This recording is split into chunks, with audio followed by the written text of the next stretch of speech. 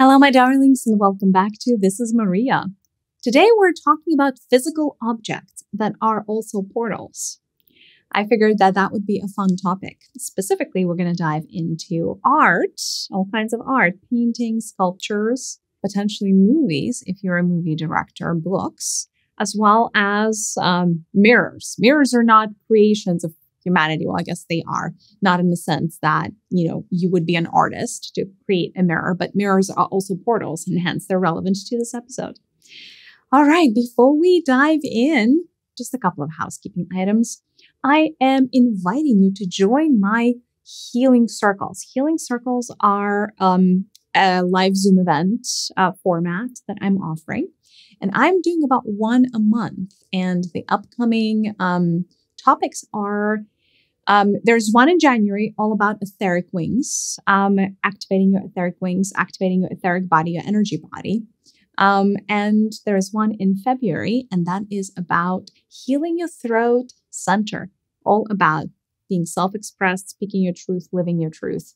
Um, so hopefully, um, this you know this resonates and you would come and check out um, my future workshops on thisismariya.com in the tab live events. And this is mariya. Mariya with a y just like all of my channels. All right my darlings let's dive into portals. It feels like it's rich territory. There's not a lot of awareness um, within humanity around what these portals mean and the fact that a lot of artworks works of art are even portals in the first place. So let us start diving deep. Let us start uncovering the hidden truths and uh, from the energy perspective and seeing where we um, net out on the other side, where we come out on the other side. So any object of art, whatever that is, whatever format of medium you're working on, is going to become a portal into the consciousness of the creator. Specifically, today I wanted to focus on art, visual art, so paintings, um, a little bit on sculptures, not so much. And then we can also dive um, deeper into movies and books as well uh, from the energy perspective. And then mirrors towards the end. That's the agenda. All right. So, um, anytime you're creating something as an artist, uh, whether you intend to or not, it um, the object that you're creating is going to have an imprint of your soul. It's almost like parts of your energy and parts of your auric field are being imprinted into every single creation that you have. That is why you have creations and art that feel feel high vibrational, and that's why you have creations and art that don't feel high vibrational. Now, if only you know that ended there, and maybe let's start with the paintings because that is probably the most glaring example of what I'm going to be talking about. So it is very normal, it has become very normal to go to art galleries, to go to museums that display artwork. Um, it is considered a form of entertainment. It is considered to be a form of, you know, elevating your senses and, you know, inspiration, etc., etc. And while all of those things are true, there is the hidden aspect of going to museums and art galleries that perhaps is lesser understood, if at all understood. So every painting that you see, every painting that you interact with is a doorway and a portal into the mind of its creator, into the mind of the painter. Not only the mind, but their energetic state at the time of the creation of the painting. So whatever the artist was going through as they were creating the painting, that vibration is an added layer, an augmented layer into the painting. You do not see it with your physical eyes, but your body perceives it, or at least your subconscious does, right? And it is having an impact on you beyond just the visual um, elements of the painting. So every painting tells a story, and not always is the story the positive one. Now, of course, you know, you've probably all had experiences going to a museum where you resonate with some paintings and you really quote unquote like them. And then with other paintings, you're like, I dislike that or I don't get that. So usually what that means is are you a vibrational resonance to the painter? If your own vibration is in, is either very close to or harm- harmonious with the vibration of the artist, then you're going to most likely like the painting. Um, if your vibration is very far removed from the artist, whether it's lower or it's higher, you're not going to find anything special about the painting, or you may dislike the painting. Um, so again, um, all the art that we like is based on resonance, right? So the arts, the, the art and the artists that you like tell you a lot about you, right? Who you are, you know, where you are energetically.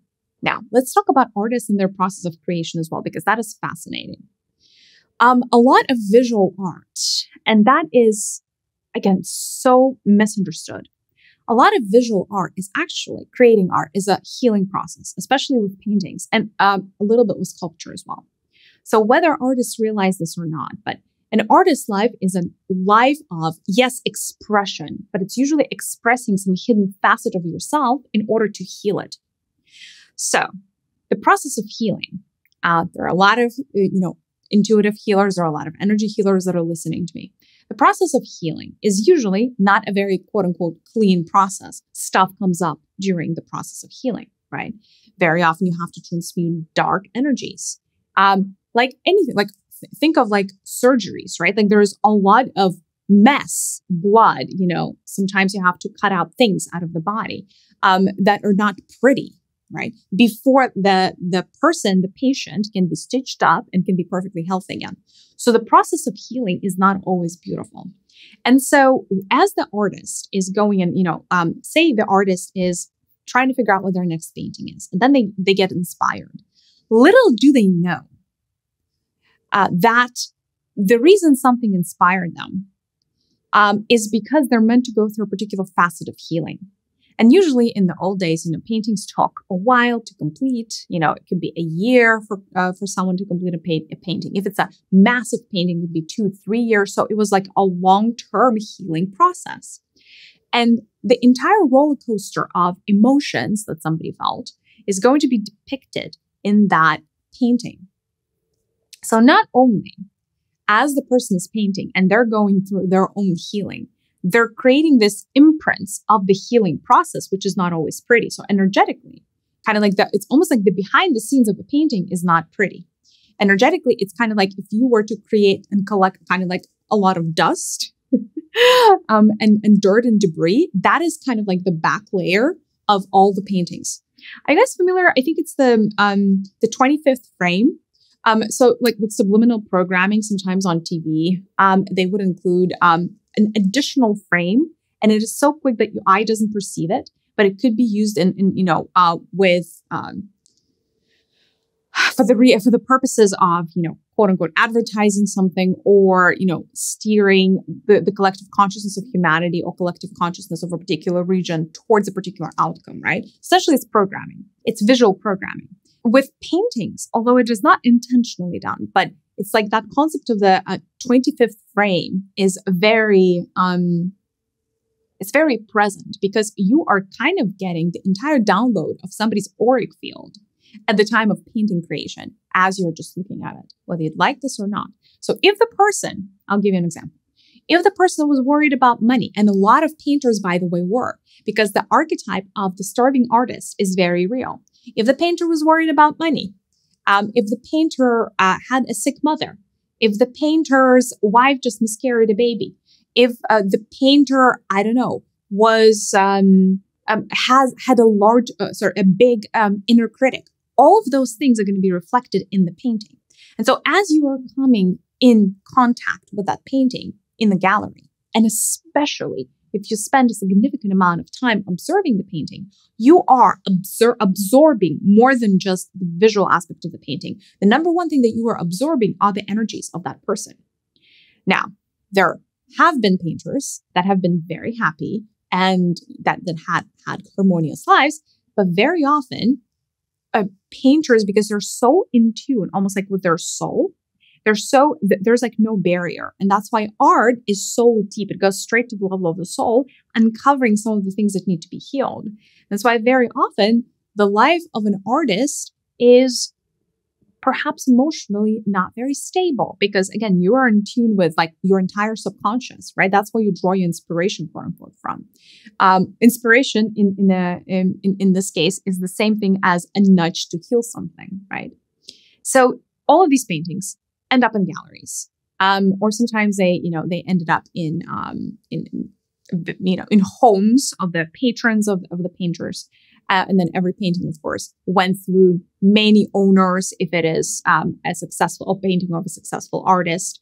And so the paintings initially already had a particular vibration as they were being created. And on top of everything else, they absorbed as you know as portals they have also absorbed the energy of the places where they used to hang on the wall. And so um i guess where i'm going with this is it's like every painting and like looking at paintings is, is like playing the lottery. You don't know what you're going to get.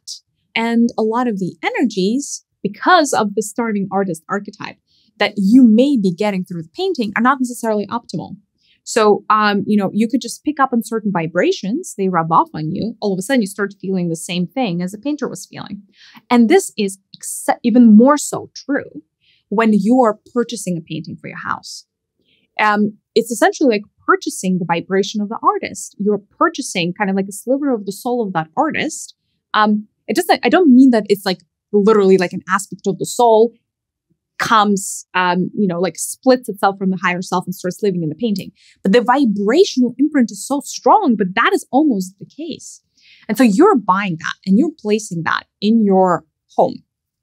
That energy of that painting is really going to shift the overall vibration of your dwelling. And the bigger the painting, the bigger the impact. You know, these huge paintings in uh, rich homes that, you know, cover half the wall or like the entire wall that is really going to change the vibration of your home, whether you like this or not, just because it's like you literally brought a portal into your house and hung it on the wall. So be careful what you bring into your house. Um, as far as paintings, because not only are you bringing the like what whatever is the is being depicted, right? So, for instance, let's say um, it's it's a war scene. What are the odds that the depiction of a war scene has a very very high frequency and high vibration? Pretty much close to zero. So that is the vibration that you're bringing into your house, just to just take it at face value, right? Um, now, of course, paintings such as, and you, you may be counteracting me like, okay, Mariya, what about paintings of nature? Because that's beautiful. What about paintings of, mm, you know, like um, fruits and vegetables for like beautiful settings on the table or something? Um, that's all fine. Like at face value, like there's nothing wrong with like looking at a beautifully drawn mug or like, uh, you know, uh, apple. However, that is where the energy of the painter becomes really, really important. Again, what was the painter going through at the time? What were they healing at their soul level through that painting? What were they thinking about as they were creating it? What was going on in their life? Because that is going to still transfer into your world as you're just staring at the apple that is drawn on, on, on the painting. Now, the question that I'm getting from the collective is what if it what if it is not the original painting but a reproduction of the painting, right? So a copy. Okay, if the copy is made with um um paint, right? So it's not like um a photo of something. That is um then the vibration of that copy is going to have two different artists' imprint the imprint of the person who originally drew the painting, and then the imprint of the person who copied the painting. So both of these are going to be intertwined. And uh, from that perspective, it's even more risky because then it's double the chances that, you know, somewhere, something somewhere in that, in the auric field of one of these two people wasn't right. Now, if it is a photocopy, to a lesser degree, but that is still true. When it is a photo of a painting, it is still a portal. It's not quite as strong. It's, you know, uh, its power is diminished compared to the original. However, you're going to get the same exact portal. The, like the vibration of that portal is going to be the same. If the original is vibrating, call it at the frequency of number five, then the photocopy of that is going to also vibrate at the frequency of number five. It's just the saturation of that vibration is going to be lower. The saturation of a photo uh, fo- photo um, copy of something is about 30% of the original, just so um, you guys are aware. It's still a lot. And again, it depends on the size of that um, copy, right? If the photo is small, it's much smaller. If the photo is half of your wall, it's a porno. Uh, it's a pretty big deal. And it's going to uh, really, really um, change the vibrations of the house. Um, now, there is another thing that I wanted to say. Okay, you guys. Um, just so you're aware, uh, and by the way, you can uh, set like a quick prote- protection for yourself um, before listening to this this next point. Um, imagine there is like a dome of white light um, right above your head. and um, you are protected from you know anything that you know um, that may come through your auric field. Um, as I mentioned, the next thing, uh, portraits is something else entirely. Have you guys seen portraits that look like they're alive, like their eyes are alive? Okay, there is a reason why.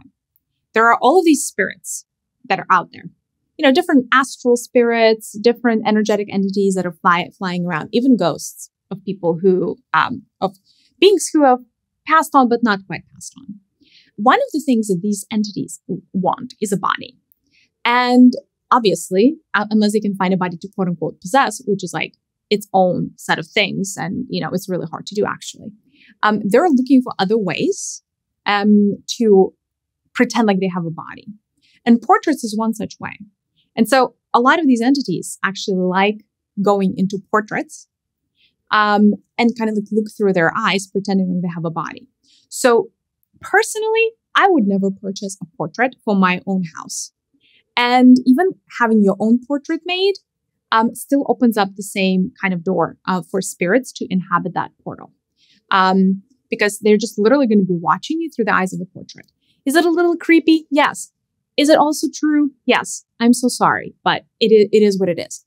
Doesn't mean that every single portrait is inhabited by an entity? Absolutely freaking not. There are only some portraits, maybe about 10%. Um, the rest of them are not, right? So like maybe you have a portrait and that's completely fine. But for me, a 10% chance of like an entity living in my house just because I chose to create a portrait of, my, of myself, eh, not necessarily my favorite. That's that. Also, if you guys still um, doubt um, the fact that the artist imprints what they are into the creation. Then think about um, all of the um, creators and artists that um, made icons, um, like you know, um, meaning icons. Um, so essentially, all these like like artists that worked uh, for churches and and tried to create like the the images and the visages of like Jesus and Mother Mary and all of like holy, uh, the holy people, the saints. Very often, prior to undertaking a commission, when you're supposed to depict Jesus, whether that is a painting or, you know, um, a sculpture, doesn't really matter. Um, if if the person who commissioned that painting um, knows what you know what they're asking for, um, they would very often ask the artist to go through a very rigorous fasting um, uh, regimen and an ascesis where the artist would have to give up a lot of things because they had to almost like earn the um, the purity of their physical vessel as an artist. They had to be pure enough to be able to translate what, in this case, Jesus, just as an example, Jesus obviously not the only example, um, but um, uh, in order to translate the purity of Jesus and not tarnish that um, image uh, with their own um, vibration, the artists very often would have to go into fasting and like some, you know, some very, very rigorous fasting. So very often they would have to give up meat and, you know, uh, like alcohol and uh, sometimes it would last for years, if not decades. So, um, you know, working on that kind of art that was, you know, call it religious art is very much a commitment. Not everybody can produce high frequency artwork. In fact, it's really, really hard on the face of planet Earth to produce high frequency artwork. Why? The art works almost like unintentional, right? Uh, as a healer, as I've already mentioned before. And, and it's not like as an artist, you can control and say and choose to not go through a healing if the universe believes you need the healing or your higher aspects believe you need a healing. So if you set out to create a painting and there is quote unquote darkness in your vessel, I don't know, some karmic knots that need to be addressed, um, something big that's coming up for you emotionally, mentally, whatnot. You cannot just like put yourself out of the picture, no pun intended, and just like pretend that you're not the part of the process as an artist because just because you want to create a high vibrational um, art and you're like, okay, let me put all of my karma on the back burner. Let me put all of my negative thoughts in the back burner, negative feelings, and I'm going to try to come into this as a pure vessel. If you don't have the purity of the vessel, you cannot fake it with art. Art is extremely real and it's very, very telling. It's almost like somebody, as an artist, it's like um, if you're trying to understand um, like um, what somebody vibrates at, ask them to draw a painting. Uh, and by that, you're going to understand exactly what is what it is that they're hiding, because all of their undercurrents, all of their traumas, all of their dramas, all like all of the past life is going to be encapsulated smack in the middle of that painting. And so, um, in other words, the reason it's so hard to create high vibrational art is because it means that you, as a soul, have to a come with a very very pure vessel, and b not um accumulate new karma at the to the extent that a lot of people accumulate new karma. Otherwise you're not going to be able to produce anything of purity right? Because again every painting is actually a reflection of your soul if that makes sense. Kind of like the the, the portrait of dorian gray. Um yeah and and um again the um the other part is sometimes um people um painters what have you create their true masterpieces later in life. Why does that happen? Is that because their level of skill is is is growing? And yes, while that is the case, as the artist undergoes the process of uh, creating things, it could be sculptures, paintings, doesn't really matter. They are almost like clearing out their vessel with every painting, right? Um, so every painting is going to contain the imprint of their trauma, but they have gotten rid of that imprint. And so, you know, with the painting, that trauma is gone. Then onto the next painting. And so with every painting, they become a clearer and a clearer vessel. As a general rule, there are exceptions to every rule. And so towards the end of their life, they're going to be able to produce really beautiful works that are untarnished, so to say, by um, the distortions because there are fewer distortions. Now, uh, where that is not the case is if a person is going through something major in their lifetime, and it's almost like you're seeing the darkening of their soul and the choices that they make lead, lead them down, down the darker path. That would be a, an example where the paintings get worse with age, or shall we say not worse, but like energetically more disturbing with age um, instead of the opposite. Um, that's paintings. Sculptures kind of follow the same imprint. Um, uh, only it's a different medium, right? Um, or they follow the same exact rule, or the same exact rule applies, right? You bring a sculpture into your house, you bring the energy of the sculpture. You bring all of their thoughts, all of their feelings, and even a portion of their karma. And sculptures actually, because it's like an embodiment, even more so, because like paintings are flat, sculptures are actually usually, I'm not usually, they're always 3D dimensional. They are even going to absorb parts of the karma of the sculpture. And so that is what you're buying. Uh, and now it is your karma. So, you know, what are the odds that you've been given good karma? Not great odds on planet Earth, not great odds. Um, now, I would say that sculptures of people and beings mm, are probably um, a little bit heavier um, karmic carriers as opposed to like again a sculpt you know a sculpture of a vase or something or like a I don't know a, a banana or an apple that does not tend to mm, carry um, a lot of karma. It's more things that are anthropomorphic, things that kind of like remind a body, like a human body, where um, like the imprint really, really happens quite heavily. Just because also there are mirror neurons, right? Like you guys are familiar with mirror neurons. But um, you know, everything in, in, in, the world is a reflection of something else. So as a painter, or sorry, as a sculptor in this case, as you are sculpting um, you know, a figure, you are going to give that figure, whether you realize this or not, some of your personal qualities as a being, as a soul, right? And that means some of your karma. That is how it can walk into the collector's house. Same is also true for artistic creations, for directors of movies. So movies are always, always a reflection of the director. Now, you may argue with me and, you know, you may tell me, Mariya, there are hundreds of people um, that are taking part in um, creating every single Hollywood movie or any other kind of movie. And yes, that is also the case. But the director is really the one that shapes uh, the movie the most because they're the, the one in charge. And so very often the imprint of the movie um, is going to have director's signature, right? And that is really, really clear. Um, you guys, you guys, for instance, I don't know, a Tim Burton movie has a signature because his soul has a particular signature that is very, very recognizable. But that is a quick example to you. Um, James Cameron, if you see, has a very different signature, and the types of movies that he sh- shoots are very, very different. he actually um, operates at the heart level. So um, his movies push the the heartstrings. Um, so uh, it's you know, and, and that those are very very quick examples of how the director influences the movie. So, in other words, the same process that the artist undergoes as they're creating a painting, a movie director undergoes as they are making a movie, right? So, it's like essentially a personal healing project for the director of the movie, uh, or a personal adventure project, a personal exploration project. And that is going to contain a crazy amount of the imprint of that person, right? And, right, um, it's almost like watching the movie of that particular director is going to be inviting their auric field into your house and into your auric field, right? So again, be careful what you, you know, what you watch, um, who you watch, who you tune into, because you become you become them essentially, right? Like you're you, by uh, allowing something into your auric field, um, an adjustment is going to start um, taking place, and a little bit of the a copy paste phenomenon, right? So your auric field is going to copy some of the things from somebody else's auric field. Um, if you are exposed to their creation for long enough, and the movie is usually a long enough endeavor, and especially if the movie influences you emotionally, whichever feeling that is love, hate, fear, um, you know, um, it's still an influence.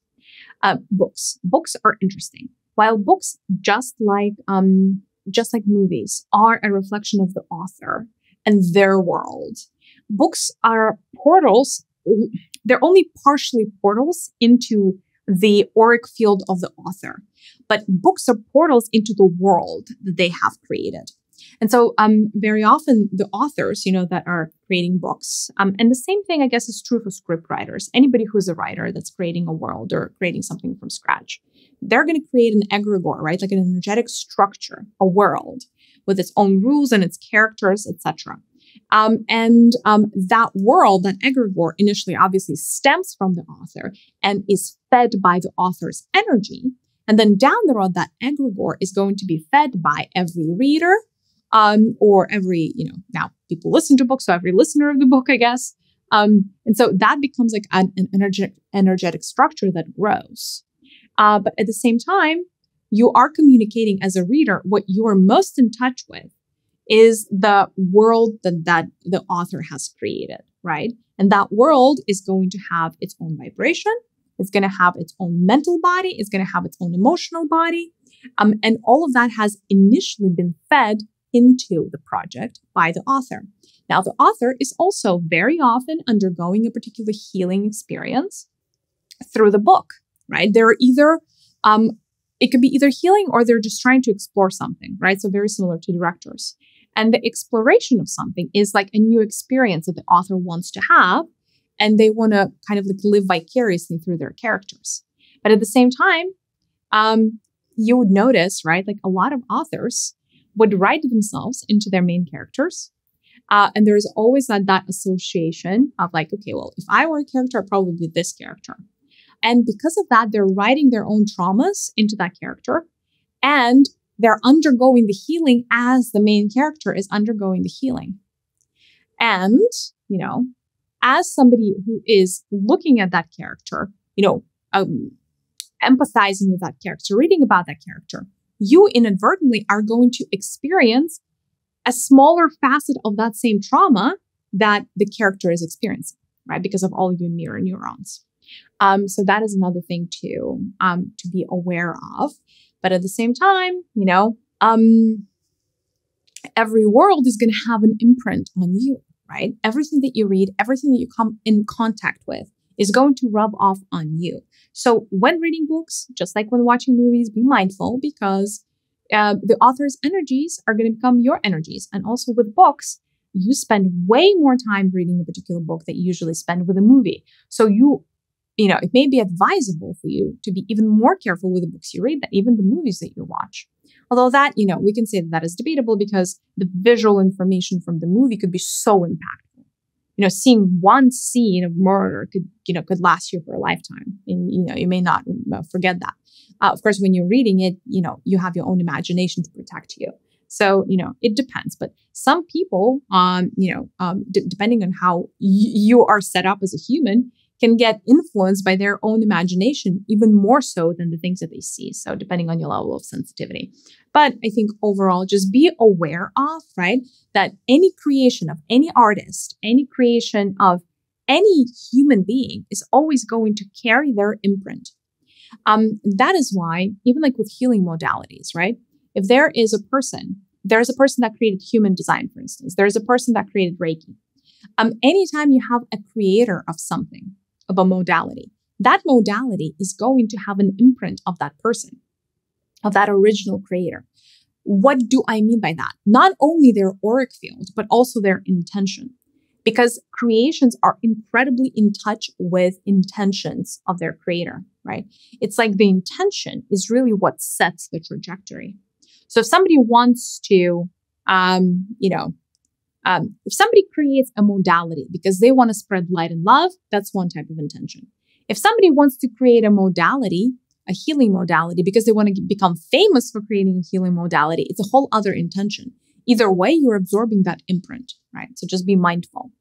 Um, and the egregore that is being created from that uh, healing modality is going to behave according to that um, original intention. So because of that, some egregores are predatory and they're really succulent, and others are okay and they're just going to let you be and, and hang out and they're less predatory. Um, that's that. I wanted to maybe um, quickly get to, oh, there's one more thing theater. Sorry. I might as well talk about theater. Theater is the same thing. Um, whoever, so um, the script writer, whoever wrote the original story, that's the person that um, is donating the most uh, in terms of their energy imprint into the, the play. Also, of course, um, whoever was the director of the play, whoever put it all together, as well as, um, you know, to a, a, large degree, actors, right? Especially with, um, and that is also true with actor actors in movies, right? Like they're donating their energy, absolutely. But when you're watching somebody live, that impact is even more present because you're literally sharing the room with them. You're sharing the same space with them. So you're going to be very, very much impacted. Um, and and you're going to start vibrating closer to that frequency upon leaving the theater, right? So mind you, it's almost like you come as an empty vessel into the play, then something is being poured into you, and then you walk out vibrating at the frequency of the play. La Phantom of the um, Opera, it's about a haunted theater. So there you go. Like, what do you think you're going to vibrate at after watching it? You know, you decide. There is no right and wrong. There is, you know, the information that we're given and the choices that we make based on that information. Nothing that I, you know, I have said means that don't partake of the arts. Absolutely not. If you feel like you want to partake of the arts, you should partake of the arts. If you feel the art elevates your frequency, then go for it, right? There is no right or wrong. Just be mindful, be aware, and you know that that that's all on that. Mirrors. Mirrors are freaking fascinating. Mirrors are really truly portals, and they're portals into different worlds.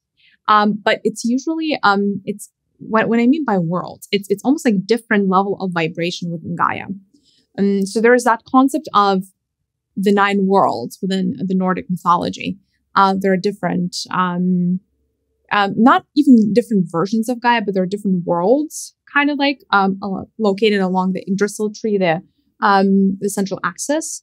Um, there are, if you think about it, like um, planet Earth um, doesn't, you know, there are, if we were to kind of like dissect what planet Earth is, it has multiple versions of itself that vibrate at different frequencies. And I don't mean 3D versus 5D versus 7D. We're talking a third dimensional reality only for now, right? Even within the third dimensional reality, you have multiple versions um, uh, like multiple layers of vibration. Certain things in, in 3D vibrate a little bit higher, certain things in 3D vibrate a little bit lower. So uh, portals, um, mirrors up portals into all of these kind of like uh, up and down, not even dimensions, but like vibrational frequencies. And um, very often, um, certain astral entities or energetic entities would use mirrors as portals just you know to gaze into someone's life or like observe um, or sometimes get through. Um, so mirrors are challenging. I would not recommend slipping next to a large mirror. Uh, not to fearmonger, because I, I mean, nothing, listen, nothing is going to happen from the perspective is like, nothing is going to murder you. Like, no, absolutely freaking not. Like, no, no, no, that's not going to happen. But, but there are energy entities, energetic entities out there. And not all of them are, shall we call it benevolent. There are a lot of energetic entities that like feeding off of human energy, a ton. And, you know, if they got hungry and somehow got through to you through the portal, um, you know, they could feed off of you. Usually though, they need access to the face. So it's it's okay to have a small mirror in the bedroom, but just make sure that your face is not directly visible from the mirror. And if you need to cover the mirror, like let's say you are at a hotel or Airbnb and the mirror is positioned weird, either flip it if you can to the back um, for protection purposes, or just cover it with a sheet or like a blanket or something. And you're going to notice that you sleep better. Um, you don't have weird, oh, well, you may still have weird dreams, but at least these dreams are not going to be prompted by the entities coming out of the mirrors. Um, and if you are sensitive, if you are a sensitive being, you will definitely notice, like literally you can have an experiment um, of, you know, trying to sleep next to a mirror. And like when you turn off the lights, feel like you will feel um, the presence, right? And then, um, you know, cover the same mirror and like do the next night when the mirror is covered. And you're going to notice that there's no presence in the room, right? In other words, large rooms in bedrooms when you're most vulnerable, when you're sleeping, right? Not recommended. Um, you know, fine. If, if, if you, you know, obviously you, we need mirrors, like you guys need mirrors. That's totally cool. Um, just be mindful that when you're in your most vulnerable, probably a mirror is not such a great idea. Also, mirrors, they absorb, like the portal goes both ways, right? Like not only can mirrors be used for somebody to watch over you, quote unquote, but mirrors also absorb your own emanations when you're looking into the mirror. So, for example, if you put on weight and you're looking at the mirror every day and you're like, oh, put on weight. And then you become so sad. Like 30 days in, that mirror is going to start reflecting to you something else. It's going to be a sad mirror, if that makes sense. Or if you come up to the mirror and every morning you use the same mirror, like look at yourself and, you know, you smile and you're like, you are the cutest thing ever. That mirror is going to carry that imprint of you're the cutest thing ever and translate back to you, right? So like mirrors can be charged. They are charged with a particular energy. Older mirrors and antique mirrors are kind of like a lottery as well, kind of like paintings, because depending on where the mirror was hung, what you know, what house, you know, who was looking at it, under what circumstances, what what they were feeling, what they were thinking, that is going to determine the frequency at which the mirror vibrates at. And so I you know, just be careful with antique mirrors. You're much better off buying a new mirror because the new mirror, you're starting from a blank slate and you know that no funny business was happening with that mirror, right? It's yours. At least, you know, it's going to have your vibration. And if it's going to be a sad mirror, at least it's going to be your sad mirror, not somebody else's sad mirror. Because imagine buying the um, the mirror um, where the lady, um, from a lady that looked at it and was sad because she thought she put on extra weight. All of a sudden, you start looking in the mirror and you don't like yourself. And you're like, did I put on weight? I don't think so. Why do I feel a little like I did? And the reason that you do is because the lady that looked at that mirror, the previous owner, looked at it and that was the thought form that she imprinted into the mirror. All of a sudden, you're picking up on it. And because, you know, maybe you're it's, it's hard to be discerning every single moment of every single day and it's very hard to identify where the thoughts are coming from. And so you may internalize that thought as being your own whereas it was somebody else's the owner of the mirror. Another thing and, and there are a lot of superstitions actually around mirrors you know if, if, if you kind of scan the, the global human collective but there is one about broken mirrors and broken mirrors are you know in a lot of cultures they're supposed to be bad luck and like you're supposed to toss away the um, the, the broken mirror from the energetic perspective, the mirror that um, has a crack, there is like a chasm between um, the two sides of the mirror. And that actually even broadens the portal. And that creates a portal um, for like lower entities um, to come through that usually don't have access to this time space reality, but they can only do it if somebody's looking in the mirror and interacting because they need kind of like that energy boost that they can get from the person looking in the mirror and interacting with the mirror. So I would not recommend, like, even if your mirror is a little bit broken, I would not recommend like doing makeup with it or something. Just get yourself a new mirror or, you know, borrow a mirror, something, you know, don't, don't really, yeah, it's from the energy perspective, unless you want to attract entities. And again, none of, I want to say none of this is meant as fear mongering, but now, now, uh, like what I'm present to you is some of you guys are really afraid of these entities. Listen, entities are everywhere. Entities are everywhere around us. It doesn't like a you may have strong protections, and that may never bother you in a million years. Um, you guys shouldn't be going about your day worrying about entities. That is absolute. That should be the last thing on your mind. What you should be, you know, mindful of is keeping your vibrations high, doing the right thing, being on your path, meditating daily, eating right, connecting with your higher self, and you're golden, right? So there's nothing about energetic entities that is inherently bad. More often than not, they are humanities teachers. However, entities can also be tricky in the moment because they can feed off of your energy. They can put um, certain mental um, frames, like mental constructs inside of your mind that are not very pleasant thoughts. They can um, give you emotions that are not your own, that are not pleasant emotions, etc. So they can impact you, they can influence you, right? If there is a back door through which they can enter into your auric field. It doesn't mean that we now all should be afraid of mirrors because it just happened to be portals. Not every single mirror is an active portal. Like most portals are actually not active. Most portals are not active. Just in general, in life, right? Most portals actually, because like opening a portal um, is energy consuming. Somebody needs to provide the energy. Usually, if the entity is opening the portal, the entity is providing the energy if the entity has the right passcodes or access codes, right? Uh, it is energy consuming.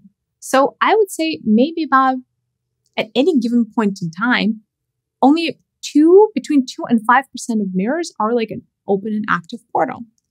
But again, just being mindful, specifically around mirrors, don't put them in your bedroom if you can help it.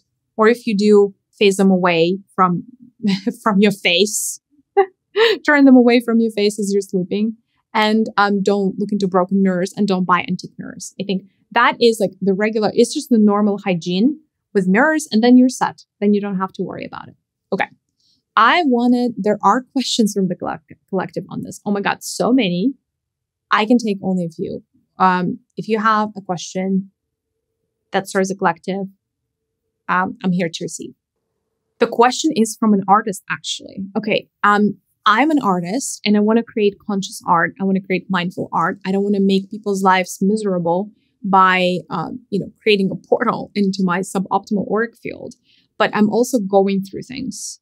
And uh, what would you recommend that I do? Because, uh, you know, that's how I make my money, but I'm also not necessarily happy right now. So do I not create art? No, actually, I think you should create art.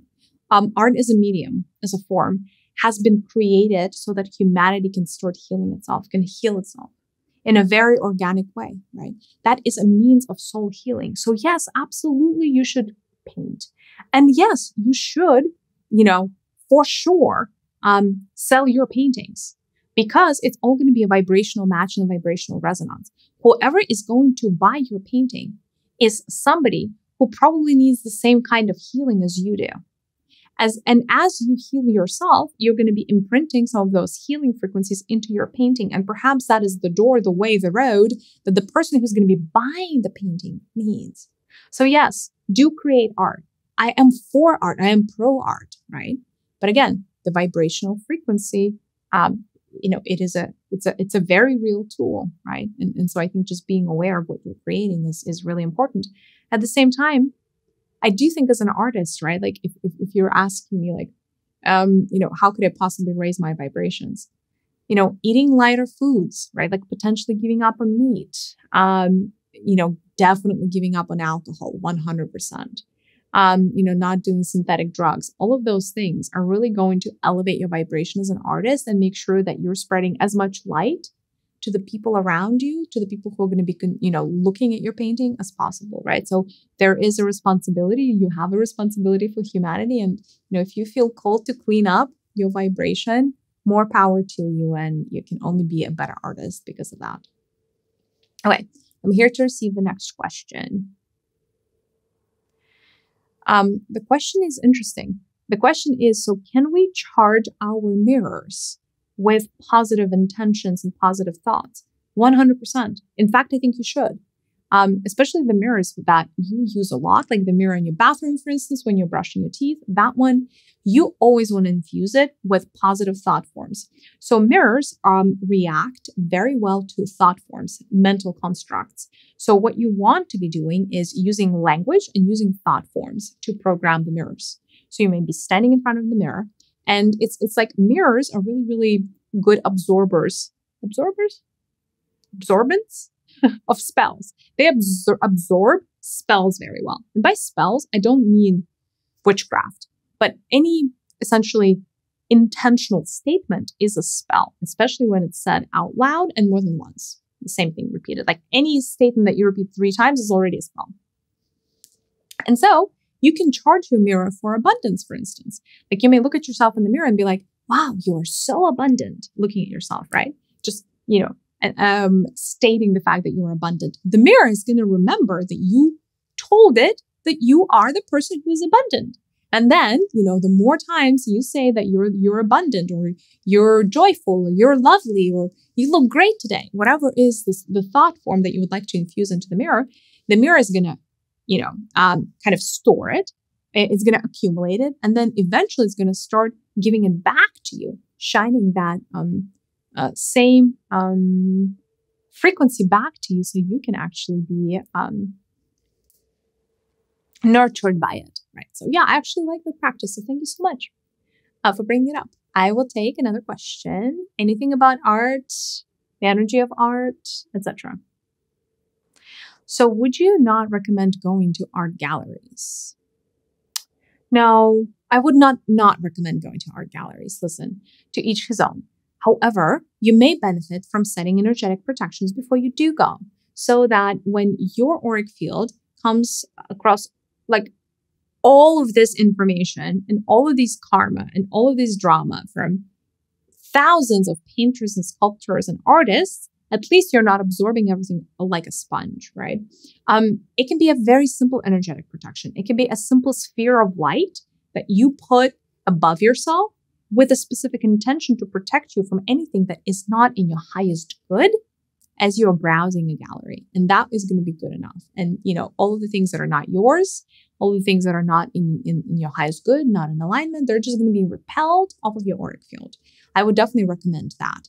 I think that galleries are actually, they're okay just because usually like, what are the odds that you're going to spend 30 minutes staring at the same painting? What I would caution against is the art that you buy um, the art that you buy for um, for your houses, that one really be careful about. Really try to understand the artist, meet the artist if you can, and get a feel for their energy. Are you comfortable in their energy? Do you see there's anything wrong with them? Are you getting a weird feeling? Like, would you be friends with that person? Because if not, maybe you shouldn't be buying their art because there's going to be, you know, um, all, the, all this hidden energies um, and then the other thing is if you're staying somewhere and it has art and the art piece is not giving you warm fuzzies, feel free to remove it off the wall and just flip it. And so that the front is facing the wall and you're no longer seeing that. And you're going to feel better in that space because it's, it's almost like that closes the portal and um, it does not impact your auric field or your mood or any of that, right? So, like, just be mindful of the artwork in um, in hotel rooms and like Airbnbs because again, they can impact your energy, they can impact your experience, and you may not even know that. Well, this one, this was was such a fun topic. Um, it got a little bit heated. I hope you guys enjoyed it. Um, if you're watching this on YouTube, please let me know in the comments how you felt about this and what you're resonating with. Um, and you've, if you've been suspecting this, thank you so much. Send you a big virtual hug, and I'll see you in the next one. Bye, loves.